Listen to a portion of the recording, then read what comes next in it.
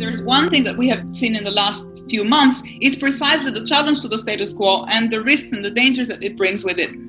And my concern is that moderation, as the virtue that stands behind polarization or behind the concerns with polarization, is unlikely to offer the challenge that is required